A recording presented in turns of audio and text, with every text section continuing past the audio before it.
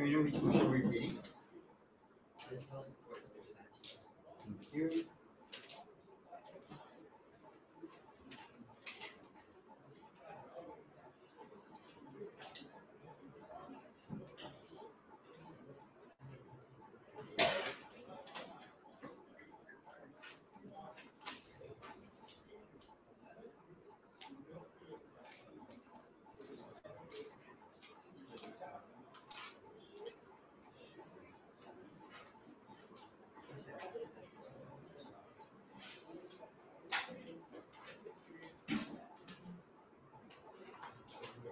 Alright, guys. Um, so hello everyone. I'm Zazwan. I'll be adjudicating this round alone. Apparently, uh, on government team we have Sri KDU Sunbears,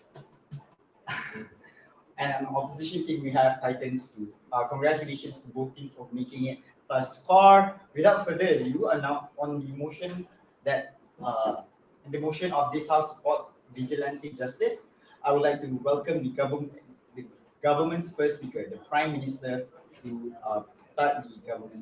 Here he.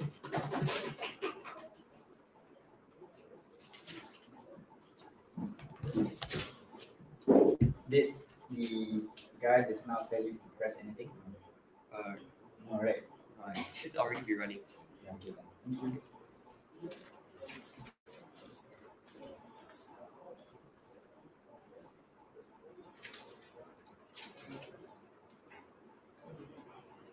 In the society that we have today, there are many places and countries in the world where there is a lack of law enforcement that is either fair, law enforcement that is effective, law enforcement that is fast, or law enforcement that enforces laws that are um, properly uh, that are laws that are actually good. We think that in these cases where there is a lack of law enforcement or a lack of an effective justice system, we think it's completely justified for members of the public to step in as vigilantes and fill this void.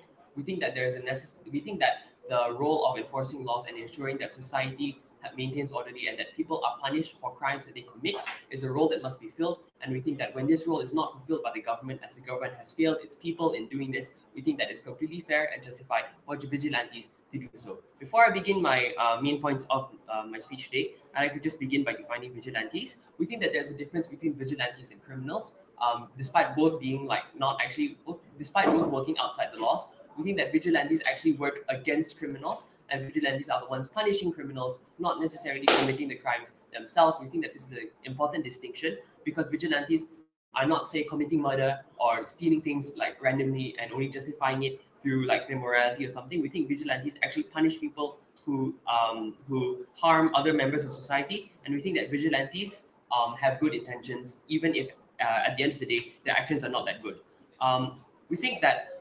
So let me just start by defining the kind of situations where vigilantes will step in. Firstly, a situation where there is no effective law enforcement or there are basically no police. So this will happen in states or areas with no actual effective police force. Say, for example, in Venezuela, where there, the police are on strike and there's no effective police force because they are not being paid. We think that in situations like this, we think it's completely fair for vigilantes to step in, as they are doing so in self-defense of the community against criminals who would otherwise go unpersecuted, unpunished, and there will be no deterrence against criminals committing crimes since there is no police to punish them. We think that it's completely fair for vigilantes to step in in these cases. Secondly, in situations where there is an effective law enforcement, however, the law enforcement is sometimes not fair or they're enforcing laws that do not make sense. Say, for example, um, uh, say for example in the USA, where the law enforcement agencies and police there have been accused of being biased against African Americans, or for example in India, where police refuse to prosecute rape cases and refuse to um, actually hunt down rapists. We think that in situations where there is law enforcement, but they are lacking in some ways,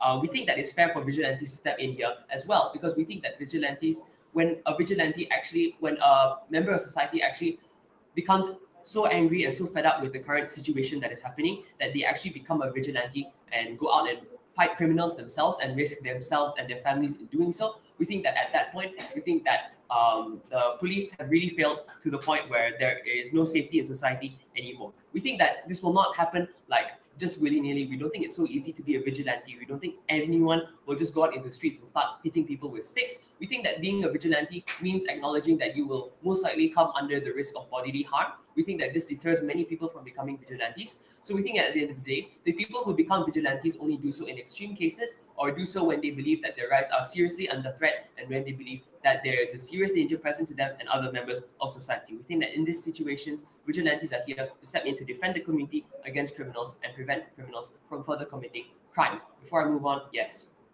What gives them the right to decide whether it is too too wrong to stop them? We think that uh, vigilantes, what a vigilante decides is wrong or right is completely subjective to that vigilante themselves and is subjective mostly to the members of community themselves. However, we don't think this means that um, vigilantes will like say for example like beat up um, beat up people for committing crimes like minor infractions like oh you cross the street now I'm going to hang you. We think that uh, we think that generally if vigilantes do something that is considered too wrong by the members of their community, these vigilantes themselves will be persecuted by other members of the community because other members of the community will go um, will act like in shock or um, will obviously not condone the actions of these vigilantes. We think that in cases where vigilantes act, act with disproportionate force, or in cases where vigilantes um, like um, like persecute people for crimes that aren't actually that uh, crimes that aren't actually that serious, we think that members of their own community will persecute them as well um, for being um, criminals themselves. We think that that's the distinction between vigilantes and criminals. We think that uh, we don't. It's not necessarily our burden to endorse every um, action or every crime that vigilantes persecute, but rather we endorse what the vigilantes fight for. And what the vigilantes fight for is a fairer justice system and and uh, protection of their own communities. We think that um, vigil- uh, we think that when vigilantes um, step in, uh, and this moving on to my next point, we think that when vigilantes um, step into a, um, step in as law enforcement in a community or in a country, we think that that sends a message to the people who run the country and to the rest of the country that there's something seriously wrong with that, uh, with the law enforcement and with the with the police system in that country. We think the message that it sends is that the, either the law enforcement or the justice system is not doing its job correctly and that it needs to change. We think that this encourages change in the justice system while also in the short term protecting people from criminals. We think that while in the short term it protects people from criminals, in the long term we think that it actually encourages change. Say for example in India, um, again with the cases where we had uh, where there were a group of concerned women who um, were so fed up with um, the police not persecuting rapists, they formed their own protection squads um, who pursued rapists using broomsticks. We think that um, after that happened, it showed to the rest of India that there was a serious rape problem, and it showed to the rest of India that this rape problem was not going to be accepted by the rest of the community. We think that this push for change faster inside um, India's courts, and now there are more laws in India against rape and that punish rape and actually give the police power to pursue rapists. We think that in this way, vigilantes can push for change better because vigilantes actually highlight the societal problem. We think that when one vigilante starts fighting against injustice, other vigilantes too join them. This shows the power of the people um, who support a certain movement or who support a change in laws or a change in law enforcement. We think that because of this, vigilantes are ultimately a force for good, even if sometimes the actions are not necessarily good in themselves. We think that even if um, that were the case, we think that at the, at, at the end of the day, in the long run, at the very least, vigilantes spark discussion, vigilantes spark discourse, and in the short term, vigilantes protect people. We think that side opposition does not have this when side opposition does not support vigilantism and does not support people taking their own safety into their own hands. We think that if you, as a member of the community, feel completely under threat and feel that your safety is at threat every day and that law enforcement is not doing anything to stop it, we think that it's completely justified for you to take the law into your own hands and to pursue change and to pursue the greater good and protect other people. At the end of the day, vigilantes are a force side with side government.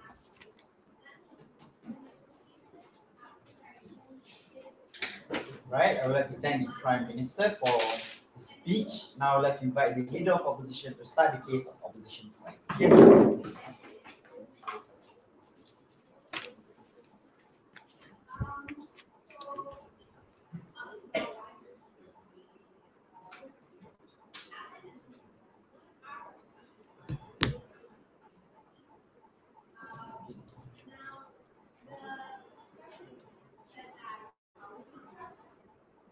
As the opposition team, we believe that the end does not justify the means, and thus we wholeheartedly oppose this motion.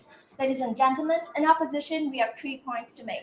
First, about how an eye for an eye makes the world blind. Second, about how the trust in government works here. And third, about how fear would be instilled in society. But before I proceed with any of my points, allow me to rebut the government points.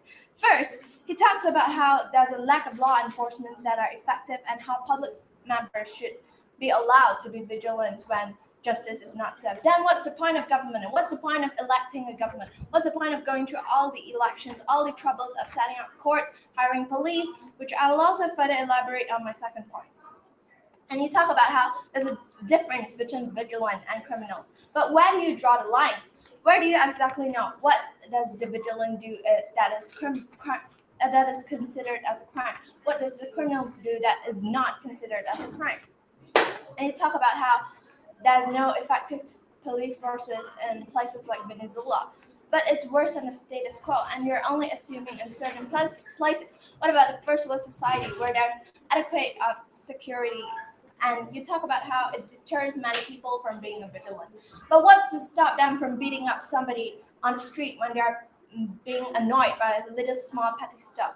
And you said it's completely subjective. Exactly. So where do you draw the line? and you talk about how they would be pursued by other members in the community if they do something wrong. But an eye for an eye makes the world blind. Then what's the difference? And you talk about how it protects people so people don't live in constant fear. But no, imagine you live in a world where people can do anything, where you go on the street and you can get beat up anytime or maybe get murdered anytime. Then you would be living in a community with constant fear, which I would then elaborate on my third point. So the opposition team's first and primary point is about how an eye for an eye makes the world blind. So it essentially damaged the law system because who's the criminal now? Now the cops have to hunt for these vigilantes too. You give extra troubles to them instead of actually them focusing on hunting down the no thank you. And when the vigilance you, you don't teach the wrongdoers a lesson by simply going up there and doing whatever you want because there's occupation doing this job for example police they go through vigorous trainings to be to be considered as police. But now these people can just go on the street to kill somebody or beat someone up. Is that the value you want to teach the society? So now anyone can go on the streets and oh i'm the doctor i'm the nurse i'm the whatever i'm the firefighter and obstruct what other people are doing which is a matter of life and death. Moving on to my second point about how there's the trust in government. As I said, you voted, you go through all the troubles of election where people spend a whole day. And then now you said, oh, anyone can go up there and be anything they want. And you're wasting the taxpayers' money to build jails, to build courts, to hire police, to hire prosecutors, to hire judges. And it's making worse something worse than the status quo because you're fixing a problem that doesn't exist. So now the suspect actually, if you do go through the proper procedure, the suspect should be going to trials in court. And but and what if the vigilance served the justice to the wrong person? So now the family of the victim wants to kill the vigilant. Is that the world you want, where you can kill whenever you feel like it? And as I mentioned, no one can determine it. Who's to be there to determine what's the line? What's the line not to cross? So now the government has to reenact a law for all these, go to other parliament, waste of efforts and fund, which can be go to elsewhere. So now, let me ask you, if the government supports this, do they have to pay for the hospital bills when the vigilantes are injured, when vigilantes are this and that? Going to my third point about how fear would be instilled in society, citizens wouldn't dare to come out the streets because they're they fear that they can be killed and or beat up anytime, and a nation would be going into a chaos be erupting into chaos because everywhere you go, they are worried. Is this is a society that we really want, where people live in constant fear? And now, when we do this, we're actually ruining the peace that they're having, and people will stop blaming the government that they're not fulfilling their job to protect the nation. Yes. Um, what would happen in situations where there is no effective government? Why should the people listen to the government just because there, there are many situations where the government is either ineffective or it doesn't create laws that are good? But how do you think that? Um, how are you sure that vigilance would be effective? What if the vigilance go serve their justice and then they get killed in the process? This would be creating more troubles for us. And okay, even if they did, are even if they did manage to serve the wrongdoers a lesson, how how is that not a crime? Because you're killing them also.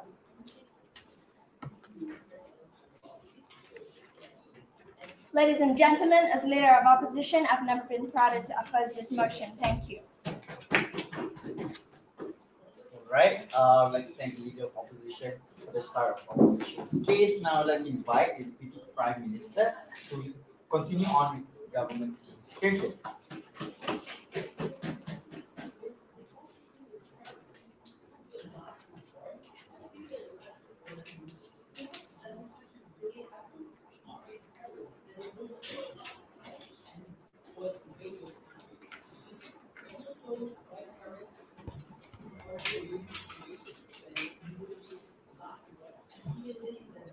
On side proposition, we agree with side opposition, where we see that at the end of the day, law enforcement is the end goal, where that is the ideal situation. However, we recognize that there are countries, there are situations that people are placed in where the law enforcement is not effective, where the law enforcement does not support them, where the law enforcement actually takes advantage of them, goes against them, goes against their wills. For example, like the example given by my speaker just now, where he mentioned in India, where they did not have laws that actively went against rapists in India. So therefore, vigilantes arose in order to combat those rapists, right? We see that in those situations, vigilantes are necessary because, as mentioned by my previous speaker, change needs to happen, right? But when side opposition tells us that they do not want vigilante justice simply because it's too troublesome, simply because where do we draw the line? We see that that is no excuse, right? So before I continue rebuttals, so first of all, they told us that where do we draw the line, right? But the thing about that is that vigilantes often act in groups, and vigilantes can only work if they have the support of the community. If one person in the community who's a vigilante says, "Oh, I don't like um subject A, B, C," but no one agrees with him, then obviously he's not going to do that. Obviously, if he does perform that action, then the community is going to turn against him, and therefore he won't be an effective. He or she will not be an effective vigilante, right? Second of all, they've told us that an eye for an eye makes the whole world blind. But if that's the case, why not just get rid of the justice system as a whole?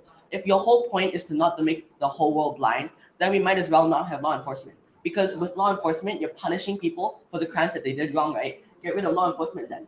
Another thing, they've told us that it is wasting taxpayer money with vigilante justice, for example, courts and cells. But we've told you that it is necessary to have vigilante justice because of ineffective law enforcement, because of law enforcement. For example, in Nigeria, where in the Borno state, which is the northeastern state, they do not take action because Boko Haram, a terrorist group, exists there. Because they are so lazy and they're so scared to defend their people that the government has essentially seceded their role as the protector of the people, and therefore the people deserve the right to be able to protect themselves, right? And another thing they've told us is that um, what if these vigilantes get killed in the process? Do we pay for the hospital bills? Do we pay for their cremation, right? But we see that the thing with that is that it is a risk that these vigilantes are willing to take. As mentioned by my speaker just now, he told you that vigilantes only arise in dire situations where the rights of the people are being treaded on, where the rights of the people are being torn apart, right? And so, therefore, it is a risk that they're willing to take. It is an informed choice that they've made before they signed up for the job, before they chose to defend themselves, before they chose to defend the people. Yes. Talk about you mentioned about how there are countries or situations that these law enforcements are not effective.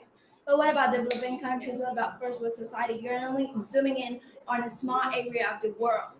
we see that as what side opposition is very good at doing is ignoring my first speaker, right? They've essentially ignored his speech, where he's talked about how even in perfect societies, we still there is no perfect society, first of all, but we still need to create this discourse because when this vi- just the mere presence of vigilante justice draws attention to the flaws in the law enforcement system. Because even in the US, where it is seen as the leader of the free world, right, we see that there are still problems within the justice system where there is prejudices against black people, where there are prejudices against Hispanics, right? And so we see that when the vigilante jus- justice exists, it draws attention to these problems. It tells people that change needs to happen because of um, the action that is taken, and therefore change is enacted because it draws attention to the system. And as I said just now, law enforcement is the end goal. We want law enforcement, but because law enforcement is ineffective, therefore we need to create change through vigilantism, right? Because we believe that vigilantism is able to create effective change. Now, onto my points. So, um, on how, on how change is taken, which is led on from my rebuttals. I just took one, please.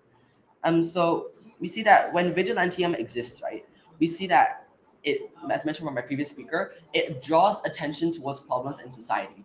And we see that because the government does not always make the right decisions. For example, in the 1700s, where the US actually made it legal to have slaves, to own slaves, for example, right? We see that that is a problem that needs to be solved. there is a reason why people need to solve these problems. And we see that when vigilantes are able to go out there and voice their opinions by taking action, we see that that is not so wrong. We see that there is not necessarily any difference between vig- vigilantes and um, activists, whereas activists just push for reform and it may take decades, it may take centuries, right? But we see that with the vigil- vigilantes, it draws immediate attention to these problems. It tells people that, hey, this is an urgent problem. This needs to be solved immediately because this problem is harming us, because this problem has harms on our society, and therefore we need to change this problem, right? We see that through activism, what happens is that you have years and years, or at, at least months, of talking about a problem which might not eventually be solved. Take gun rights, for example, in the US, right? Where we have been talking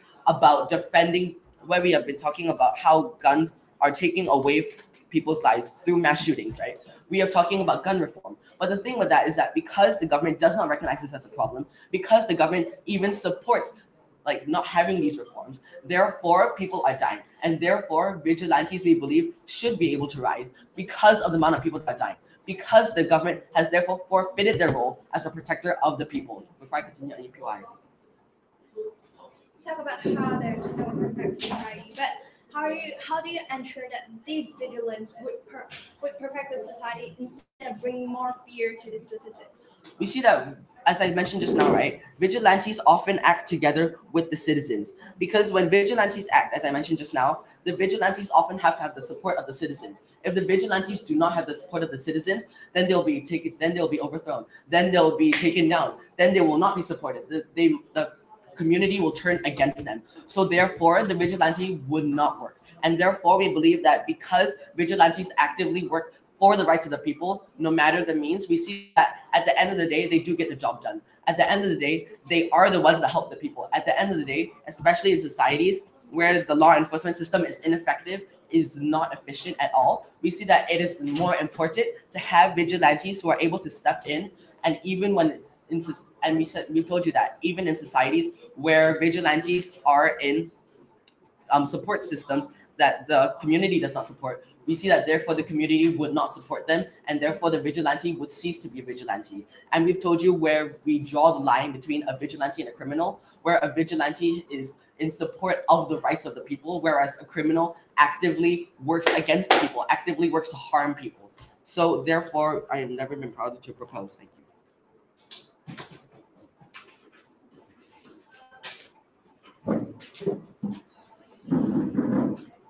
You to the Deputy Prime Minister. Now I'd like to invite the Deputy Leader of Opposition to continue on with opposition skills. Thank you.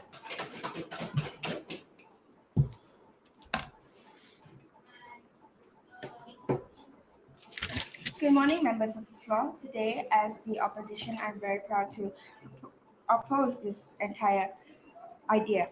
My first, my points will be about how it infringes on the sanctity of human life, how in the long run this is not healthy, and not sustainable, and how murder is never the answer. However, before I move on to those points, I would first like to make some rebuttals.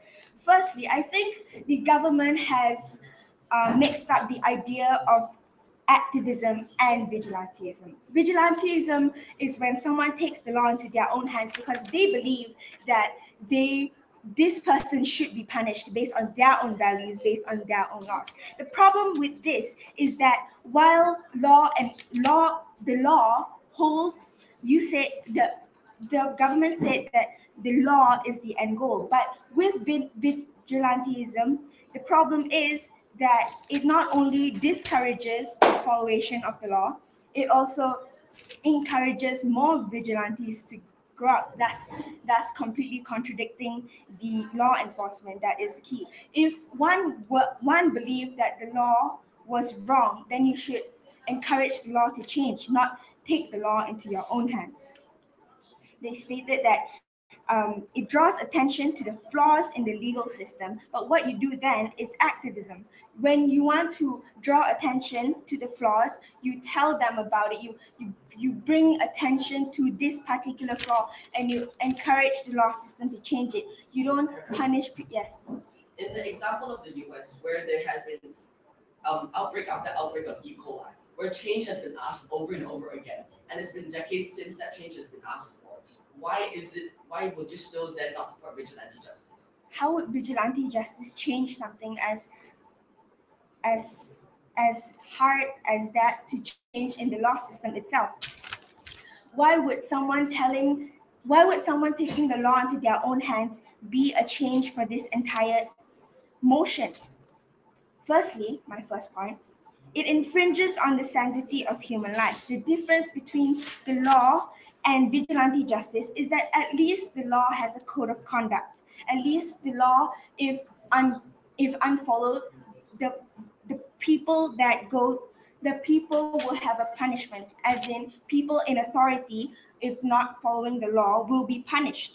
The difference with this is that vigilantes say vigilantes have the preconceived notion that they have the right to believe have the right to tell which person deserves to live and which person deserves to die depending on whether or not they think that that person has done a hard a bad enough crime vigilantes are only one step away from becoming actual villains because no one has the right to take human lives into your own hands and to murder at because you believe that it's the right thing to do.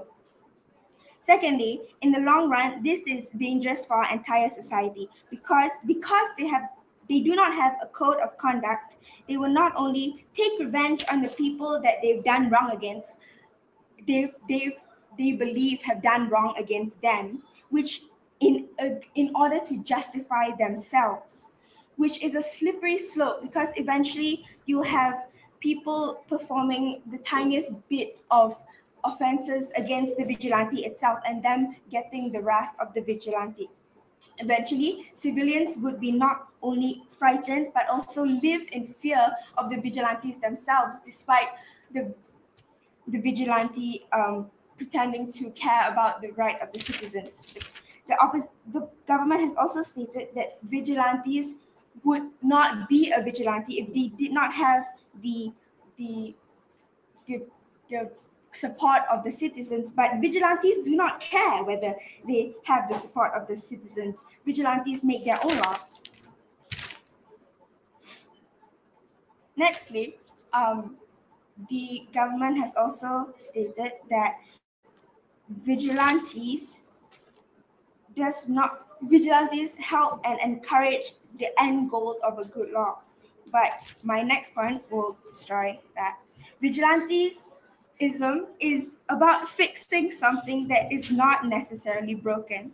They stated that our justice system is flawed. While that might be true. The vigilante justice will make our world become a place where instead of being respected, our justice system will not only be um, embarrassed, the, everyone will not be held accountable for their mistakes, and no one will believe in our law anymore. No one will believe in our government, which cannot come to the end goal of a good law system. Instead of improving it, instead of the vigilantes trying to improve it, they make up their own laws. They they have a negative impact on society as well as civilians, bringing the the entire of the society into chaos. Because as you know, strength incites challenge. Vigilante, when challenged, when when people that are bad are challenged by vigilantes, they incite conflict by more bad people, which incites catastrophe. This us as the opposition are very proud to oppose this motion as we believe that vigilantism does not does not lead to a better world. In fact, it leads to a worse one. Thank you.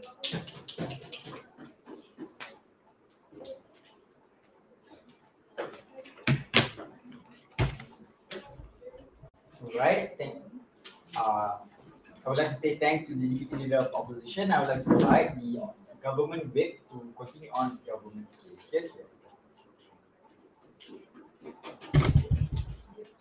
South opposition's case is ultimately built found built up upon three foundations, right? First, they talk about how vigilantes are ultimately illegal and they break the law. Secondly, talk about how vigilantes instill fear. And third, they um, paint a picture where governments and the police force are entirely perfect. Three of which we believe are high entirely harmful cases. And as my job as with will deconstruct all three cases. First off, on the point of vigilantes performing actions which might be against law or might be in cases illegal, right? As my first speaker has already said, if you guys had not understood yet, its entire mechanism is based upon the fact that vigilantes operate amongst the support of, of society, right? Without the support of society, with support society condemning them for doing actions which they believe are not good or are illegal in some cases, we believe that's the ultimate um, incentive or the deterrence for these vigilantes to ever perform these illeg- illegal actions in the first place. Furthermore, my first speaker has already made a clear distinction between criminals and um, vigilantes, right? If these vigilantes goes around the streets and starts beating up innocent people a stick, that's he's ultimately described or characterized as a criminal. Criminal, and is not a vigilante, and ultimately defeats the purpose of this motion. Secondly, um, like at, for at the very least, if law enforcement is not able to catch this vigilante, it at the very least highlights how bad law enforcement are, as my second speaker has already told you.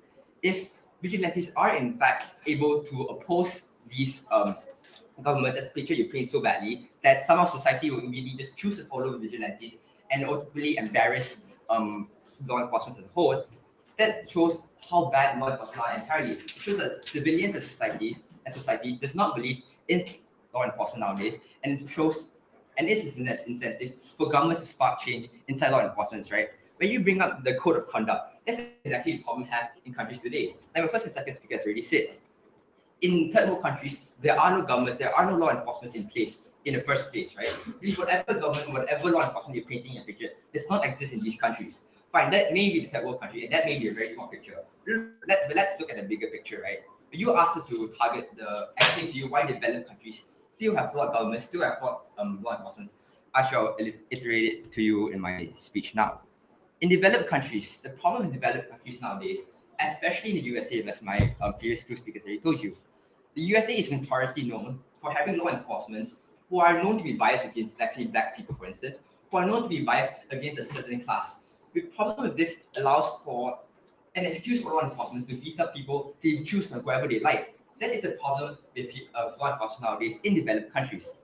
So, as such, we believe vigilantes are justified in those societies, as my first speaker already said, because vigilantes step in, they spark change, they help people, they, they help people who known who have known have been grown up to known who untrust their uh, their law enforcement, to not trust um, the people who are meant to save them, and instead these vigilantes shall be able to take their place. At the very least, even in the short-term scenario, even if worse comes to worse, at least these vigilantes are a hope, are a chance of hope for these people, and we believe vigilantes can still help spark change in the long run. Now, thirdly, when they talk about how the vigilantes might instill fear in society and how catastrophe will somehow happen under vigilantes justice, first off, we beg to pardon and we don't entirely understand that point. Like if we, like our first speaker has already explained to you, vigilantes are born in the midst of fear. They either be may that be fear against the government or the fear against the police force or just fear against criminals on the loose, right? We believe vigilantes are ultimately born by fear and they, their entire incentive, the entire reasoning behind being a vigilante is that if you want to combat fear, right? Whatever fear that's purging society now, it's the incentive for these people to become vigilantes in the first place. So the fact that you say vigilant, vigilantes who instill fear inside people, we don't believe stands entirely. Simply for the fact that vigilantes work against fear, and we believe they are known, they are subject, they, are, they have been exposed to what fear is, and thus will combat against it. Fine, even look at our worst case if these vigilantes do instill fear. My first speaker actually brought up their mechanism, right? If they are dealing with fear and they go to the point where society ultimately condemns them and starts to fear these vigilantes, we believe it's the ultimate incentive for the vigilante to not operate anymore, simply for the fact that he's fighting for no one except for himself. We don't believe that. We believe when a vigilante comes to the point where he's ultimately not supported by anyone and is ultimately going against the law, it's the point where this vigilante becomes a criminal and is ultimately allowed for legal action whatsoever. Now, um, lastly, so the believe side opposition, the reason for side opposition's failure is they fail to understand the motion entirely, right? The motion clearly states that this House support vigilante justice, not vigilantes by itself. This means that we on side government, the only our burden on side government today is to prove to you why the justice, why reasoning, why the reasonings behind vigilantes are justified and not why vigilantes itself is justified. You see, with this motion, with this point, with this uh, statement, the point coming from side um the second speaker or side opposition with the fact that now do we have to support vigilantes as a whole by paying for their hospital bills whatsoever does not stand anymore. Simply for the fact that we are here not to support the vigilantes themselves. So if the vigilantes get into trouble, whether he or himself are injured, we believe that's a trade-off you're willing to take, and that's a trade-off they took, and that's the um that's the risk they um considered them considered themselves. Because when you become a vigilante, you should um, be expected to should be expected to at least take some body damage, and we believe on that it's not the responsibility of the government to help and correct these vigilant to help heal these vigilantes back to the state. So now, under side opposition's vote, when you have a failed government, when you have a failed society as a whole, and they do not allow vigilantes, what you ultimately create now is further catastrophe, right? You ultimately create a worse off society simply for the fact that you do not allow people to change what they believe themselves is good. But you don't allow change to happen, you don't allow any reasoning for people to any hope for people entirely, that's when you have a failed society and that's when you lose this debate. So let's look at the um long-term, short-term scenario, right? On our worst, worst case scenario, at the very least, even in the long run, if you are not able to spark change, at the very least, we give people the short term of defense. We give people hope, and at the very least, we help people protect themselves. Whereas on the side opposition, they ultimately have not given a solution. How are you going to solve third world countries where governments aren't able to operate, where law enforcement are ultimately failures? And under their side, they give no alternative towards law enforcement. Except for the code of conduct, except for the government, we believe those should never exist in today's society, as they have proven themselves to be unjustified and untruthful. And that, if you want a society or if you want a world where people do feel safe and people at least have a spark of hope, please side with side government as you give you that hope, unlike side opposition where they ultimately condemn you.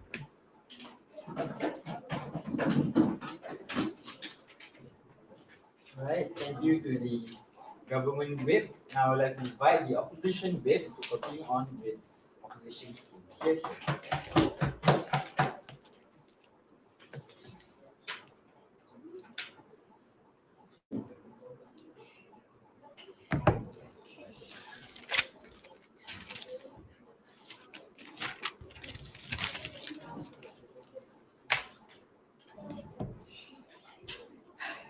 Ladies and gentlemen, as the whip speaker for the opposition, I wish to rebut few following points made by the government side. Um, on the motion, this House does not support vigilante. Before summarizing all the points made by the opposition, to give you one clear view why our opposition side does not support vigilante justice. So, first of all, you said vigilante can decide who is wrong and who is right. As my previous speaker has already rebutted, that it is what if they decide that it is wrong, it is right to kill people out of revenge. So this point you're making, uh, you made was totally irrelevant, and it and it also makes them a criminal criminal too. And secondly, it draw uh, as I said, it draws attention to the problem. This point you're making is totally unnecessary because it also uh, it draws attention, but it also instills fear to a society. As my first two speakers has already butted to your point, but understand. As and this vigilante, and you said this vigilante has the support of the society and the civilians. The point you're making totally clashes what you would you just said because you said uh, what if the civilians uh, civilians and society were like too afraid of the vigilante to actually go against them and then the vigilante does not even care about the society uh, do not they do not care of what they think and they will proceed to do whatever they want. And vigilantes are only are like only one step away from being criminals as my first speaker has already stated. And fear vigilante uh, you said vigilante is born by like in a place of fear. And what and you how why do you combat fear by instilling fear? It is doesn't work like that. You do not combat fear by instilling fear in people. That is just countermeasure and is uh you said act upon society. No they don't. And there's a very big distinction between vigilante and criminal. And what are the special scenarios that you have you said? And my previous speaker has also said that civilians in society does not believe in law enforcement. They do. They do. Or else why do lawyers earn so much money annually? And why does law enforcement exist? And there are, we agree, still flaws in some developing countries. Humans are not perfect, but we are able to accept it. And you said uh, why the reasonings are justified, therefore, and why do you consider now uh, vigilante as an occupation? We have already constantly rebutted few points made by the government side that you did not rebut. Mo- uh, Um, under your side, what should people do if they are in a situation where government is not criminals? Should you just lay down and accept it? So they should make a stance, but by not being a vigilante, they should do it the right way by going, making the government better. Okay. If you live in a society where the government actively works to persecute like the Rohingya Muslims in Myanmar, do you think that telling the government, hey, stop persecuting us, is going to work? It is not going to work. Therefore, they might make a stance, but are seeking help from other governments from outside the areas. Moving on, on, I would like to summarize all the points made from in, honor of the, the side of this debate. First, an eye, for an eye makes the blind, and, and, and, and doesn't justify the disease. And, and second point, second point is trust, trust in our government, and, and what, what the, the anti just makes. They're trying, they're trying to solve the problem that doesn't exist, which is unjust. And, and what does that stop? And vigilante justice is not, not just justice. That, that, that is what provides me. It, it instills still chaos, constant fear, and it's limiting the beliefs we have. And is also vigilante is a way of, of, and, and. It also infringes on, on deciding to criminalize as my as